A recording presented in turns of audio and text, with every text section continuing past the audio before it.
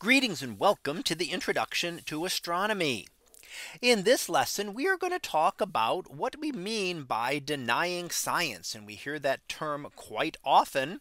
And I want to look a little bit about that and try to discuss it a bit here for you. And once again, this is an enrichment lecture. So it is not directly covered in the textbook, but may be used in a discussion or for other sources within the class. So let's go ahead and get started here. And what we want to say is uh, simply as a starting point, we want to look at science. What what is science and what is challenging science? And science should be constantly challenged. We should always be challenging and debating the status quo in science. That is important because that is how science builds and how we how we improve our theories. This is what we talked about with the scientific method. So if there is an idea, say general relativity, we want to constantly challenge it and push it to its limits to find out the best theory that we can possibly have. So we really want to look at here. What do we mean? What is the difference between challenging science and denying science? So let's take a look at this. And what we're going to look at is a couple of examples. And I'm going to try to get a little bit of an idea of what we mean by denying science and challenging science. Now you can have both of these in any of these examples. I tend to look at it as the examples will decrease the level of science denial. There can be some variation in that. But what I mean is that the first example is is pretty much denying science. And the later examples, there could be more of a mix of the two that there could be some good reasons to challenge things as well. So it's not always very cut and dry that, oh, this person is challenging versus denying. So we want to take a look at a couple of examples here and see what we can find. Now let's look at our first example as the flat earth. This is certainly one thing science and the consensus is that Earth is spherical. And we have a great amount of evidence that the Earth is spherical in terms of science. Everything that we've looked at from travel uh, out of off of Earth to the I to the uh, vis, vis, actually looking at this Earth from space. So we have a lot of evidence there that the earth is spherical. And it's been believed that uh, in fact, since the early Greeks could tell that the earth was spherical from a number of different uh, methods. So the flat earth claim is that no, the earth is flat instead. The sun is a lot closer and that the earth is surrounded by this impenetrable ice wall around the end, which is the Antarctic. So there's the North Pole at the center and there's the continents that we know. Now really uh, this is uh, it to say that the earth is flat is pretty much denying most of the scientific evidence. And you'd have to come up with some very convincing evidence that earth is indeed flat.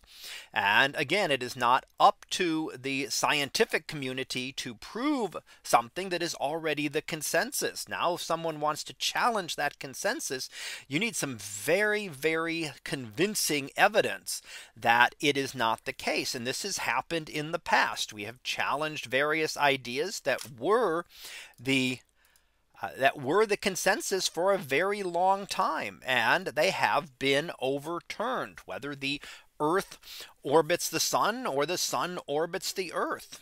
Several hundreds of years ago, it was the consensus that sun orbited Earth. And now with better evidence, we do do convince that the Earth, of course, does orbit the sun. But as I said, really to believe in the flat earth really requires a denial of everything that NASA has done for decades and not just NASA, but every other space agency, including images like this taken from the Apollo 8 spacecraft as it flew around the moon and then looked back toward Earth, seeing it very definitely as a sphere. Now this is just one example. Let's look at a second example that we have in terms of vaccinations. Many vaccinations we've had around for hundreds of years that have done a great job of reducing diseases. However, there are those who consider the vaccinations to be dangerous. Now this again the science what is the scientific uh, evidence here the scientific studies have shown that overall that vaccines are safe and that people are benefit by having the vaccine. Does that mean there are no side effects? Well, of course, there are side effects and people have gotten sick and died and possibly because of vaccines. That has definitely that has happened. But the uh, overall side effects are minimal relative to the diseases that have been able to be stopped. Now, unlike uh, less like the flat earth there's a little bit more to think about here because we do have relatively new vaccines. And what are the long term effects? And that's something that we cannot study. If we want to see what's going to happen 20 30 50 years after someone has had a vaccine we have to wait that amount of time and do the study. So there are some things that we don't know for sure but overall there is very good evidence that vaccines are effective and safe and do uh, help a far more than they hurt. So in all this becomes part of when we look at science versus politics. Because the scientists can say what is done or what should be done or what could be done and what the probable results of that will be. But some things are not necessarily uh, politically viable may not work in a in a specific situation. So you may not be able to do something even if it might be the best idea on uh, by science. Now let's look at our third example here and that will be looking at climate change. So what are we looking at here? Well, what do we know from climate change? Well, there's been plenty of studies that show that the Earth's climate has warmed over the last hundred years. We also know that the climate has changed in the past. So it's not has not just changed here. And the question is how much of this increase that we see, especially over the last few decades, is attributable to humans. Now there's there's still somewhat of a debate on that, although not as much. The consensus is that humans are responsible for this. However, there is some question as to how much they are responsible for it. So while very few scientists will say that humans are not responsible at all for this, for the increasing temperatures and that putting carbon dioxide into the atmosphere is uh, something that we have to consider. So how much is it? Are we 20% responsible? Are we 80, 90% responsible? I would say that we're certainly not 0% and we're not 100%, but it's difficult to say exactly where we are in between there. The consensus is that we are on the very high end of that and that most of this warming is due to human activity. However, again, what would happen? Would stopping carbon emissions stop warming? And this is where it comes back into politics again.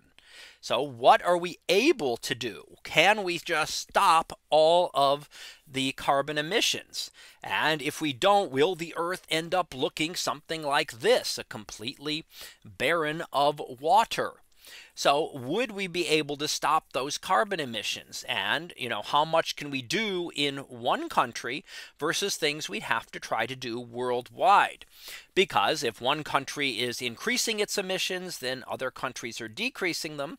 What is the net effect? And it really would have to be something worldwide to be able to eliminate uh, to stop the warming and even uh, then you know where are we there are arguments as to whether we're past the point of no return or whether we can still change things. And those are all good questions that can still be studied and try to understand them better to really look at the details of something like climate change we know again, are we questioning the data or are we questioning the reason? Now there are two different things there and they're both valid things to look at.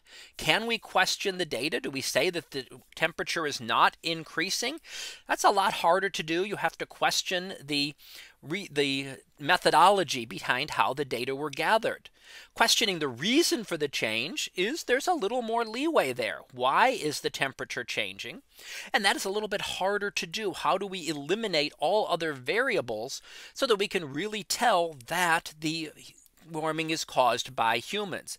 Again, the consensus is that humans are responsible. So that if you're challenging that, you've got to come up with a way to say, okay, why would this not be? How can we show that the humans are not responsible for these changes? Or how can we show that the data were not gathered correctly or were not analyzed correctly? So the challenge becomes again on those who are challenging the consensus. Now let's look at our final example, which is COVID. Not that long ago, just a couple of years ago, we were hit with the pandemic.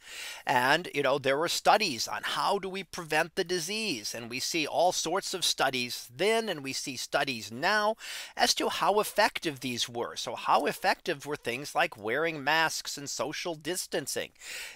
It's very difficult to test. How effective were the masks? Well, some of the masks that were used were early on weren't all that were not necessarily all that effective. Were they better than nothing? Probably. But how effective were they? How were, were they used properly? Did people not touch their masks? Did people dispose of a disposable mask or rewash a mask after each use?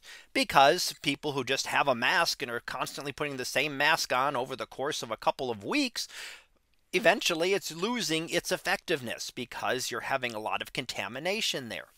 How do we test something like this? How do we limit the variables? How do we put one group into wearing the masks and one group not to wearing the masks or one group social distancing? It's a very difficult thing to test. So we don't really know for sure how effective they were. It was considered the best science at the time that the best thing to do was to use these as ways of minimizing the transfer of COVID from one person to another. But how effective they were is still something that can be debated because we just don't have the good studies. It is very tough to get an accurate study when you cannot you want to in, a, in science you want to limit the variables. You want to have one uh, variable that you're studying. You want to keep everything else constant. And that's just not possible when you're trying to study a whole grouping like this. And this is similar as we talked about with vaccines. You know, how effective are the COVID vaccines and how um, what would be the long term effects? Some of those are things we do not know. Again, the consensus was that based on the studies that we could do, that it, they were better to help as we went through to minimize the, the uh, transfer of COVID from one person to another. Now, how could we have stopped it? Well, I guess if you completely lock down everything and confined every person in the world to their house for a certain period of time, enough money, enough time for the disease to have carried itself out and burned itself out, maybe you could have completely stopped it. So science had to go. Now that would have been effective, but would it have been viable politically or economically? That is something that never would have gone. So never would have been effective to really be able to do that. It would have been effective against the disease, but not effective politically. So um, what do we have to look at are things in between that and how good were they? It's not wrong to necessarily question those as to how effective the masks were, how effective the social distancing was. And again, it can come down to how well were people using them? Were you using them properly? Those are things that we just could not, variables we simply could not control. So Again, a little more that you can question here and discuss here as compared to our original one with the flat earth. So conclusions here again, science should always be questioned. It is not a bad thing to question science. That is how our knowledge grows and expands expands. If we just accept what is currently accepted in science, we're not going to grow at all. We grow through challenges. Now there is a difference between questioning and denying. If you're simply denying the science, then you, are that is one thing versus questioning it. And questions questioning a scientific finding does not mean one is denying science because someone questions the effectiveness of a mask or if someone questions how much humans are responsible for climate change and wants to discuss that openly, then that does not mean you're necessarily denying the science, but you're looking. And I always look for chances to discuss things like this with people so that we can look at the debate and discuss it and look at both sides and see what is there. Now, again, some things are established. Earth is spherical. As an astronomer, I'm certainly not going to deny that. Denying this means you're denying everything that NASA and all the other spacecraft have done for decades. So that's pretty much established and pretty much denying that the Earth is spherical would be denying science. However, others are a little more in flux. What are the long term effects of a recent vaccine? We can't know until it's been around for a number of years. So we don't know. We can know how dangerous they are in the short term and or how helpful they are, but we don't necessarily know the long term effects. How much of climate how much of our climate change is due to man-made causes? We don't know exactly. We can estimate and the estimate is that we are mostly responsible for it. But how will that change over the coming years as we get better and better data? And how effective were the COVID restrictions that were used? Were masks effective? Were they not? We've seen a lot of different studies that some of that have shown both that they either were or were not effective. So again, there is some room for discussion here. And that looking at those and discussing discussing openly will give us the chance to really be able to improve science overall. So politics again plays a part. While science can say something will help, can it actually be done? That is a big question sometimes as to whether you can actually do the thing politically. Is it viable, something that can actually be done, even if it might be what science would recommend? And again, always look at the people making the claims. So who is debating this? What is their scientific background? I would certainly give more credence to a scientist, but we also have to consider that scientists have biases just like everybody else. We like to think sometimes of scientists as completely unbiased looking at everything openly. But every scientist has their own intrinsic biases through which they make their studies. So if you're expecting a certain result, you're going to tend to see that result. And it can take a lot to overchange something that has been accepted for a while. So again, keep an open mind. Don't just blindly accept something because it is science. But do not, not deny something unless there's a reasonable basis in fact. And that's what you want to do is come up with some way of, of, of legitimately challenging what is there. So that concludes this lecture on denying science. We'll be back again next time for another topic in astronomy. So until then, have a great day, everyone, and I will see you in class.